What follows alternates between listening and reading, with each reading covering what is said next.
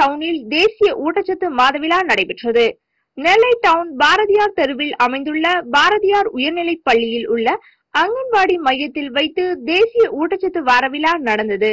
ஒருங்கிணைந்த குழந்தை வளர்ச்சி திட்டம் சார்பில் தேசிய ஊட்டச்சத்து மாதம் நெல்லை டவுன் பாரதியார் உயர்நிலைப் பள்ளியில் உள்ள அங்கன்வாடி மையத்தில் வைத்து நடைபெற்றது. பாரதியார் உயர்நிலைப் பள்ளி தலைமை ஆசிரியர் அங்கே கண்ணி தலைமை தாங்கினார். பள்ளி ஆசிரியர் ராஜலட்சுமி நகர்நல செவிலியர் ராஜேஸ்வரி ஆகியோர் முன்னிலை வகித்தனர். சிறப்பு விருந்தினராக ஓய்வு பெற்ற சேரன் மகாதேவி குழந்தைகள் வளர்ச்சி திட்ட அலுவலர் காந்திமதி கலந்து கொண்டு சிறப்புரை ஆற்றினார். தொடர்ந்து ஊட்டச்சத்து உணவுகள் பற்றியும் கர்ப்பிணி பெண்களுக்கு சத்தான பல வகை உணவுகள் பற்றியும் குழந்தைகளுக்கு தடுப்பூசி போடுவது பற்றியும் தாய்ப்பாலுடன் பிற உணவுகள் கொடுப்பது பற்றியும் விரிவாக பேசப்பட்டது.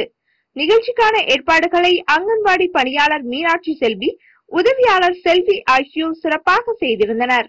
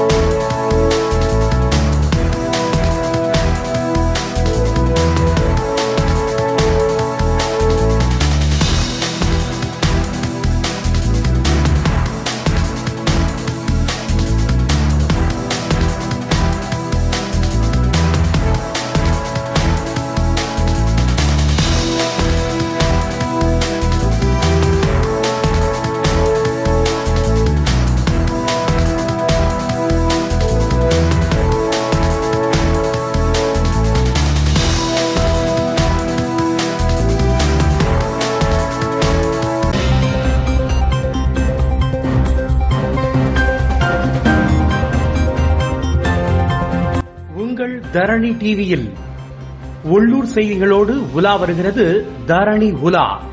உங்கள் தரணி டிவியில் தினமும் காலை ஏழு மணி இரவு ஏழு மணி மற்றும் இரவு பத்து மணிக்கு காண தவறாதீர்கள்.